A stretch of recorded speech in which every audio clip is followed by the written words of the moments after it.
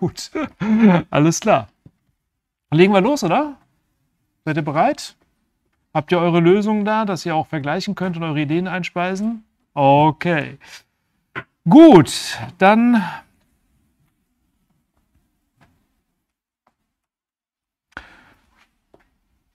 So, also, wir machen geometrische Beweise. Und das ist etwas, was man aus der Schule vielleicht nicht so kennt. In der Schule hat man vielleicht das ein oder andere bewiesen, aber da geht es mehr um anschauliche Begründungen, das Zusammentragen von Argumenten und so weiter. Wir wollen richtige Beweise machen hier. So. Und wir haben erst letzte Woche, habe ich euch ja erklärt in einem Video, dass man für das Beweisen natürlich zuvor definierte Begriffe benötigt und Axiome, die man für wahr hält. Also man braucht irgendeine Grundlage, auf der man beweist. Und wir haben dazu unsere Geobase, wo ich einfach mal ein paar Definitionen und Axiome und auch ein paar Sätze zusammengetragen habe, die uns beim Beweisen Grundlage sind. Also da gibt es ein paar Begriffe, Punkte, Ebene, Geraden, dann ein paar Axiome habe ich hier zusammengetragen und neben Axiomen auch ein paar Sätze. Zum Beispiel diesen Satz hier über die Stufenwinkel und die Konkurrenzsätze am Dreieck. Wenn da Sätze draufstehen, heißt es, die kann man beweisen. Einige von denen werden wir im Master beweisen. Also wir werden jetzt hier beispielsweise nicht die Konkurrenzsätze am Dreieck beweisen im Rahmen dieser Veranstaltung. Da muss man ein bisschen anders ansetzen, als wir es machen. Das machen wir im Master. Aber wir sagen, okay, die setzen wir voraus, die sind offensichtlich von irgendjemandem schon mal bewiesen worden und die habe ich hier in die Geobase mit reingenommen. Die können wir also auch verwenden. Okay. So, und all diese Geobase-Grundlagen nehmen wir jetzt her als Ausgangslage für die Beweise, die wir führen wollen. So, und da habe ich bei Aufgabe 1 ein paar ganz grundlegende Aussagen mal zusammengetragen, von denen wir denken, dass wir sie wahrscheinlich auch so intuitiv nachvollziehen könnten. Und warum muss man das überhaupt beweisen? Also zum Beispiel hier 1a, seien G und H zwei Geraden. Wenn G und H nicht identisch sind, haben sie höchstens einen Punkt gemeinsam. Also wenn ich zwei verschiedene Geraden habe, haben sie höchstens einen Punkt gemeinsam. Intuitiv ist es klar, also entweder sind die parallel, dann haben sie keinen Punkt gemeinsam, oder sie schneiden sich, dann haben sie, haben sie einen Punkt gemeinsam. Aber dass zwei Geraden zum Beispiel zwei Punkte gemeinsam haben könnten, wenn sie nicht gleich sind, ist undenkbar in unserer Geometrie. Dann müssten sie ja so einen Bogen haben oder so, ne? Das funktioniert nicht. Also intuitiv klar, aber in der Mathematik muss man solche Aussagen beweisen auf der Grundlage dessen, was man bereits weiß, Axiome oder Sätze. Okay. Und ja, jetzt haben wir in diesem Kontext so ein paar Axiome hier in unserer Geobase stehen. Ne? Also zum Beispiel, zu zwei beliebigen verschiedenen Punkten gibt es genau eine Gerade, die beide Punkte erhält oder zu jeder Geraden gibt es wenigstens zwei Punkte, die dieser Gerade angehören und so weiter. Das sind die Axiome, die Punkte und Geraden miteinander in Verbindung bringen. Da steht jetzt nicht irgendwie sowas von, zwei verschiedene Geraden haben höchstens einen Punkt gemeinsam. Aber das kann man beweisen auf der Grundlage dieser Axiome. Und das machen wir jetzt mal. Okay. Also was müssen wir beweisen?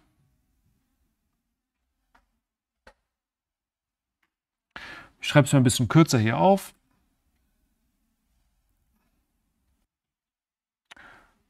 Gut.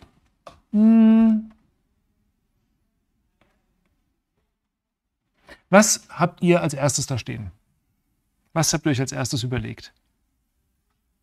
Ah ja, noch etwas zum Mikro, weil es letzte Woche immer mal wieder so ähm, Unklarheiten gab. Also es ist natürlich besser für den Stream für das Video, wenn ihr das Mikro nehmt. Ja, das heißt, wir machen einen Standard, Mikro wird zugeworfen zu jemandem, der sich meldet. Es sei denn, derjenige sagt vorher ganz deutlich kein Mikro. Okay, dann wird das Mikro nicht hingeworfen. Dann könnt ihr einfach so sagen, was ihr sagen wollt, und dann wiederhole ich das nochmal laut. Okay, was könnte denn der erste Schritt sein? Was weiß man denn, ganz am Anfang, wenn man die Aufgabe bearbeiten möchte. So eine erste Grundlage. Was könnt ihr denn schon sicher sagen? Kannst du das Mikro weitergeben?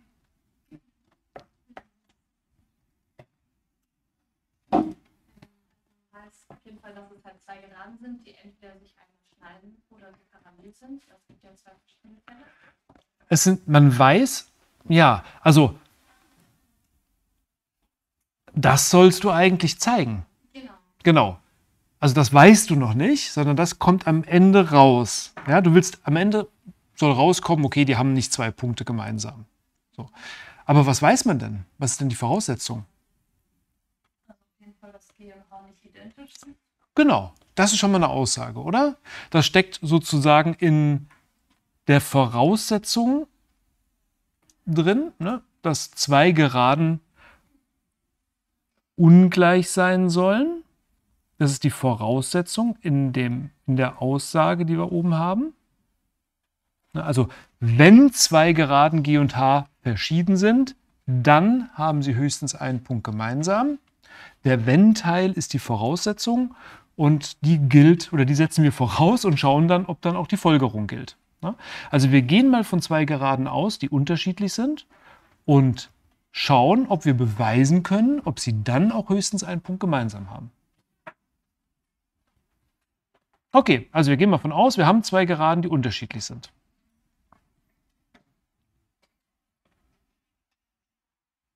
Was können wir jetzt machen? Wie habt ihr die Aufgabe gelöst? Was habt ihr als nächstes gemacht?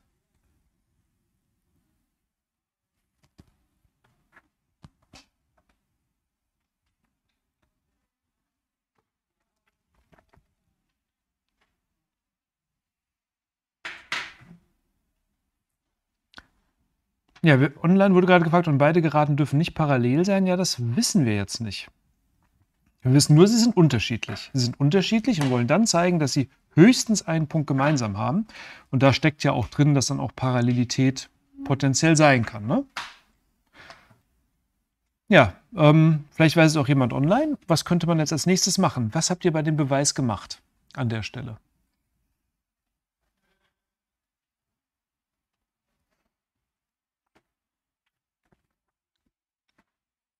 Viel mehr weiß man eigentlich noch nicht, ne? Ja?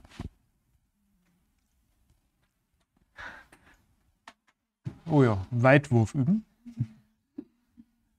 Und er gibt's durch, ja. Ihr dürft ruhig werfen, es kann nicht kaputt gehen. Glaube ich. Wir wissen noch aus der Voraussetzung oder von unserer Zielsetzung her, dass die geraden beide durch den Punkt gehen sollen.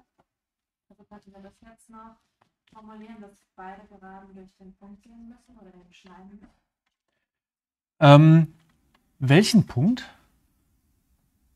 Ähm, höchstens einen Punkt gemeinsam. Mhm. Aber Sie können auch keinen Punkt gemeinsam haben.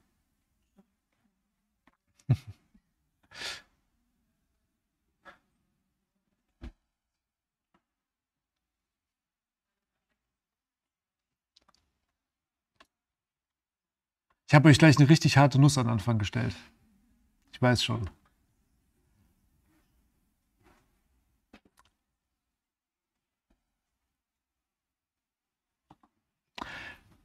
Habt ihr eine Idee, wenn ihr mal in die Geobase reinschaut?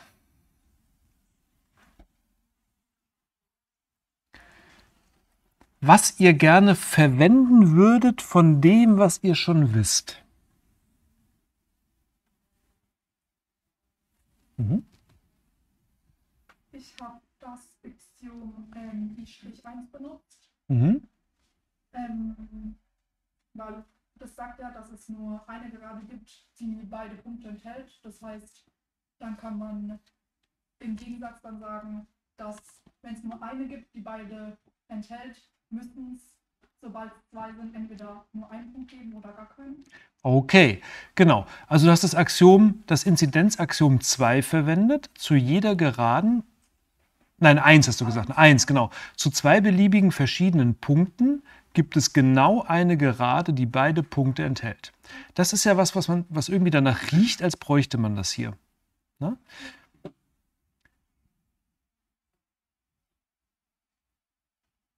Jetzt haben wir aber gar nicht zwei verschiedene Punkte. Wir haben bislang erstmal nur zwei Geraden, die ungleich sind.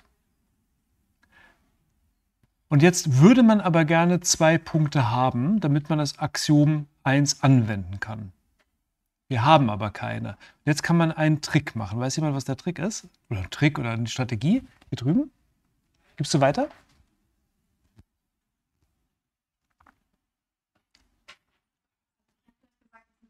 Widerspruch argumentiert. Okay. Du willst einen Widerspruchsbeweis machen. zwei Punkte genommen habe und zwei Punkte definiert habe. Habe ich jetzt A und B genannt und habe gesagt, es sind zwei verschiedene Punkte, die auf G und H liegen. Mhm. Und habe dann eben gesagt, okay, wir wissen, dass Geraden Punktmengen sind. Damit muss quasi aus dem gelten, dass A und B auf der Geraden G und H liegt. Und dann haben wir die Aussage von Inzidenz, äh, Inzidenzaktion 1, dass ähm, genau eine Gerade Punkte A und B äh, enthält und damit widerspricht sich das unserer Annahme. Genau.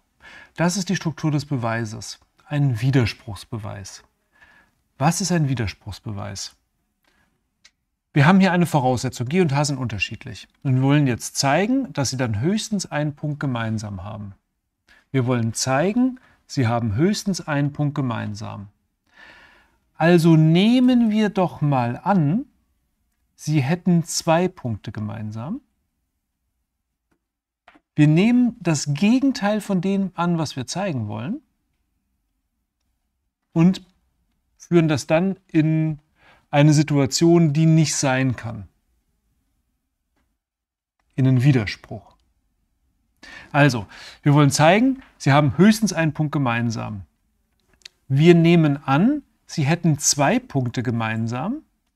Das ermöglicht es uns, das Axiom I1 einzusetzen zu zwei verschiedenen Punkten. Auf einmal habe ich nämlich zwei Punkte, nämlich die beiden, die sie gemeinsam haben. Und dann arbeite ich weiter und komme in eine Situation raus, die nicht sein kann, die zu einem Widerspruch führt. Und die Folgerung ist, dass meine Annahme falsch gewesen sein muss. Okay? Das machen wir jetzt mal Schritt für Schritt und dann sieht man es, wenn man es hier geschrieben ist, glaube ich, relativ deutlich, was die Idee des Beweises ist.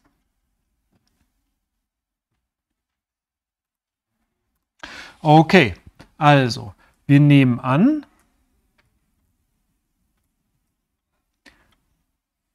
G und H haben zwei Punkte gemeinsam. Das ist das Gegenteil von, sie haben höchstens einen Punkt gemeinsam. Ne? Und das ist eine Annahme. Das, das nehme ich einfach mal an. Ich nehme das Gegenteil von dem an, was ich zeigen will. Und das ist das Gegenteil. Ne? Selbst wenn Sie drei oder vier oder fünf oder sieben oder tausend oder unendlich viele Punkte gemeinsam hätten, haben Sie ja zwei Punkte gemeinsam. Also mindestens zwei. Ne? Okay, also unsere Annahme ist, G und H haben zwei Punkte gemeinsam. Was kann ich jetzt machen?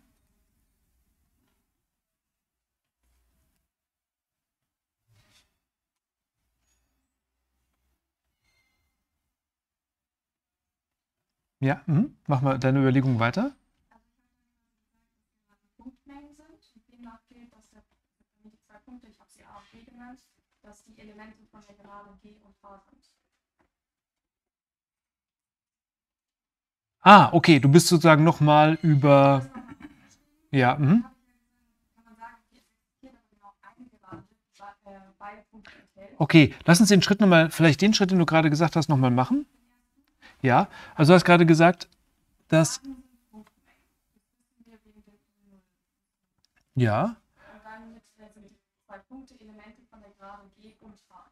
okay. Also, das heißt, ähm, die zwei haben zwei Punkte gemeinsam. Die nennen wir mal A und B. Okay?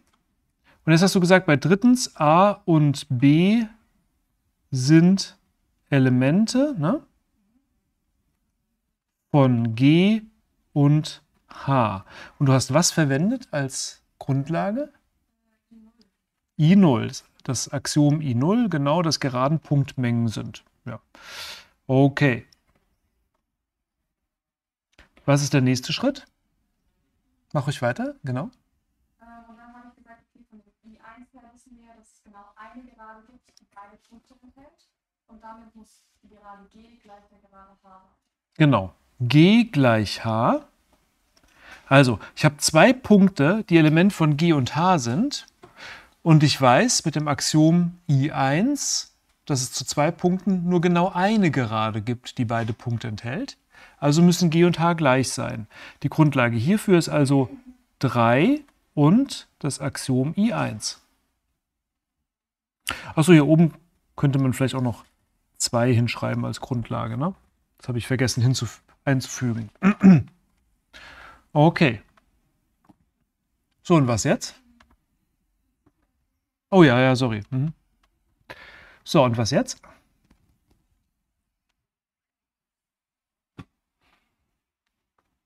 Schauen wir uns mal das Schaf an, was da steht.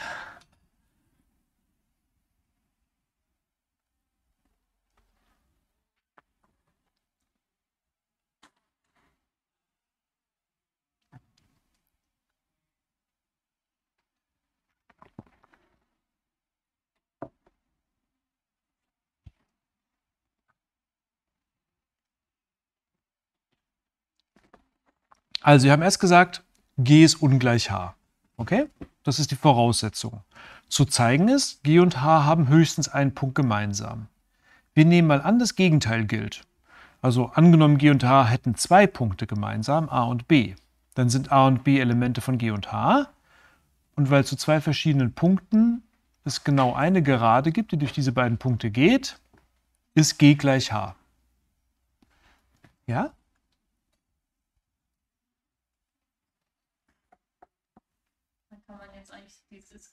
Durchstreichen und sagen, G sollte ja nicht H sein, weil im ersten steht ja das G und H ungleich sind. Genau. Wir haben, wir haben jetzt eine Welt, in der einerseits Zeile 1 gilt, G ungleich H, und Zeile 4 gilt, G gleich H. Das kann aber nicht sein.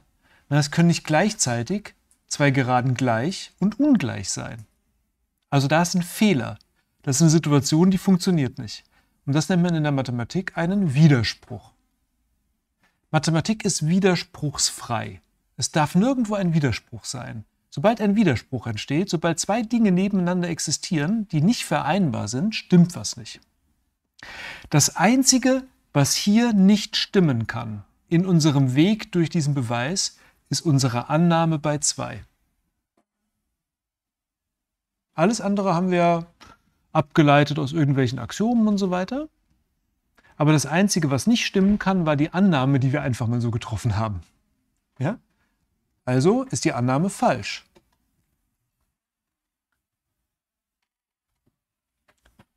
Also was haben wir jetzt hier? Einen Widerspruch mit den Zeilen 1 und 4. Zeilen 1 und 4 widersprechen sich. Okay. Und dann ist der einzig logische Schluss, dass irgendwo hier ein Fehler gewesen sein muss. Und der einzige Stelle, an dem wir einen Fehler gemacht haben könnten, ist die Annahme, die wir einfach so getroffen haben. Also G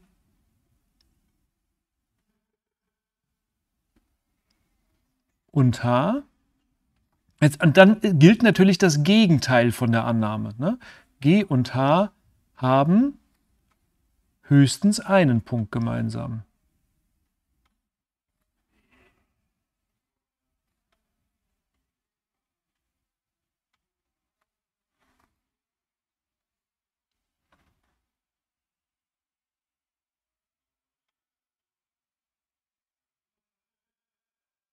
Das Gegenteil der Annahme in 2 gilt.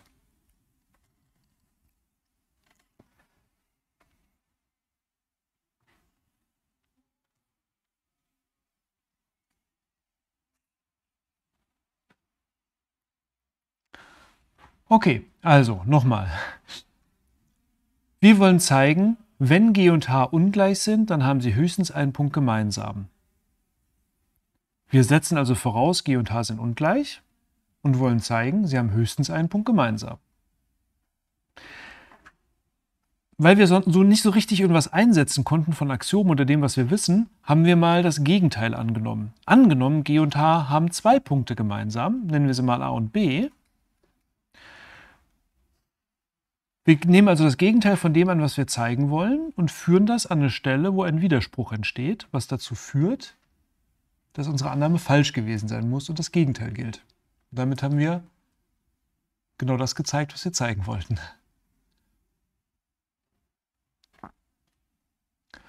euch wird im Studium werden noch ganz viele Widerspruchsbeweise begegnen.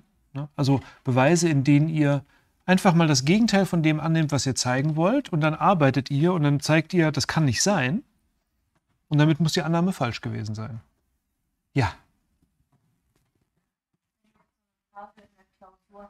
Müssen wir das auch mit der Tabelle machen, mit Schritt, Begriff und Nummer? Oder wäre bei so einem hm. Fall okay, wenn man so einen Satz. Ja, also das kann man natürlich auch nicht in einer Tabelle machen. Ne, man könnte auch einen Text schreiben dieser Art. Seien G und H ungleich oder es gelte G ungleich H.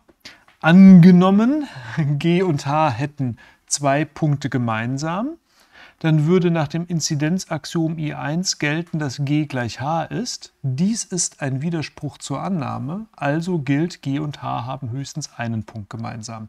Das könnte so ein Text sein, den man hinschreibt. Und auch sonst sind Beweise so formuliert. Ich finde es hilfreich für Menschen, die jetzt gerade beginnen, viele Beweise zu führen, so wie ihr jetzt, und ihr lernt jetzt gerade Beweise zu führen, das strukturierter zu machen, damit ihr euch in jedem Schritt bewusst seid, darf ich das wirklich machen, was ich gerade mache. Deswegen habe ich ähm, den Zwei-Spalten-Beweis eingeführt als Struktur, die wir jetzt hier mal so durchziehen. Wenn ich in der Klausuraufgabe sage, beweise das, und ihr macht einen Beweis in Textform, dann ist der ja nicht falsch. Dann bewerte ich ihn natürlich mit voller Punktzahl. Es sei denn, ich verlange von euch, einen Zwei-Spalten-Beweis durchzuführen dann müsst ihr den Zwei-Spalten-Beweis machen. Und manchmal gibt es auch Aufgaben der Art, dass eine Situation gezeichnet ist und ein bereits ein Zwei-Spalten-Beweis drunter gezeichnet ist, mit Lücken. Und ihr müsst die Lücken ausfüllen. So, das wäre auch so eine typische Aufgabe, die in der Klausur drankommen könnte. Ja, hinter dir? Ich verstehe jetzt bei der Beweisführung nicht ganz, welche Beweise wir nicht eindeutig erbringen müssen. Zum Beispiel haben wir jetzt die Fundbegriffe gar nicht in Bereich begriffen. Wir hätten aber theoretisch zumindest äh, zweite Elemente der Ebene nennen wir Punkte, bezeichnen Buchstaben A, wir müssen ebenfalls anbringen müssen. Und so weiter. Deswegen weiß ich nicht, ab welchem Punkt man anfangen muss zu beweisen, man müsste von Anfang an alles beweisen. Also beweisen müsst ihr nur die Aussage, die hier oben steht. Müssten wir erst noch definieren, wie wir Punkte definiert haben innerhalb einer Ebene, um zu wissen, auf welcher Ebene wir agieren und welchen Raum wir agieren. Nein, ihr könnt bei einer Aussage, wie sie oben steht, zwei verschiedene Geraden G und H haben höchstens einen Punkt gemeinsam, davon ausgehen, dass die Begriffe, die darin verwendet werden, bekannt sind. Ansonsten könnte ich diese Aussage gar nicht formulieren. Das heißt, ihr könnt die Definition von Gerade und Punkte voraussetzen. Wir haben die Definition hier aber praktisch nicht benötigt.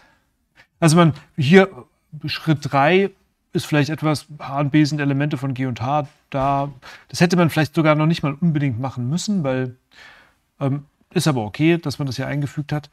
Und ähm, aber wir können an der Stelle schon voraussetzen, dass wir die Begriffe kennen, die hier oben in der Aussage drinstehen.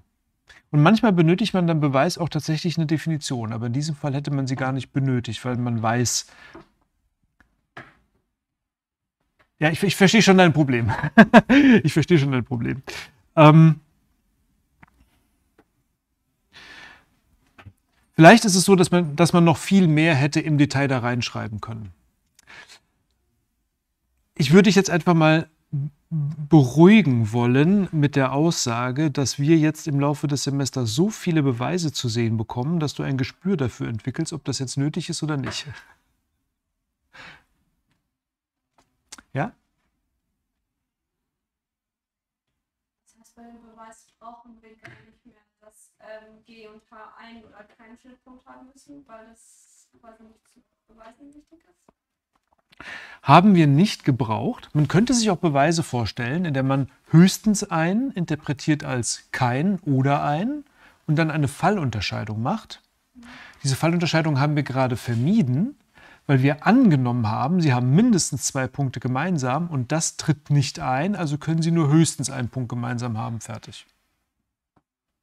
Mhm.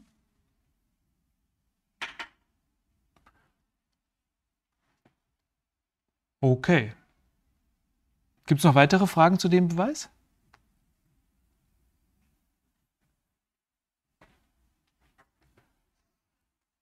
Ich glaube, das ist eine ganz gute Grundlage, sodass ihr jetzt nochmal vielleicht im Nachgang zu heute über eure Beweise von Aufgabe 1, B und C drüber gehen könnt und schauen könnt, ob ihr, ob das so passt oder ob ihr da vielleicht nochmal das eine oder andere modifizieren müsst. Und dann können wir auch darüber nochmal reden, wenn ihr Bedarf habt, sagt also über 1c oder sowas müssen wir nochmal reden oder so. Ich würde euch aber erstmal bitten, nochmal eure eigenen Beweise dahingehend zu checken und dann schauen wir uns jetzt vielleicht noch einen anderen Beweis an. Okay.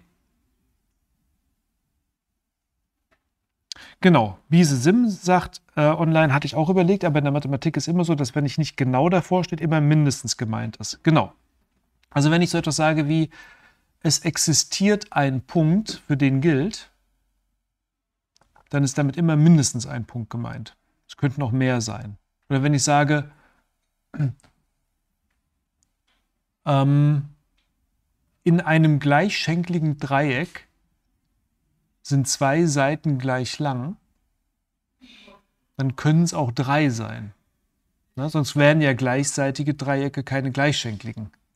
Na, aber ich will nicht sagen mindestens zwei Seiten oder so, sondern man hat sich in der Mathematik darauf geeinigt, wenn man sagt, in einem Dreieck sind zwei Seiten gleich lang, dass dann auch drei gleich lang sein könnten. Wenn ich aber sage, in einem Dreieck sind genau zwei Seiten gleich lang, dann darf die dritte nicht so die gleiche Länge haben dann habe ich halt ein gleichschenkliges, nicht gleichseitiges Dreieck. Okay. Gut,